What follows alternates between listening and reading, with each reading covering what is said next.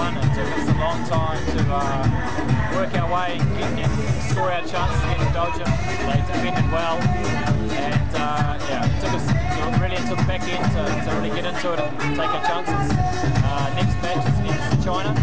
Um, it's a really different opponent. They have uh, a couple of very, very strong individuals, so we have to make sure that we uh, take care of them.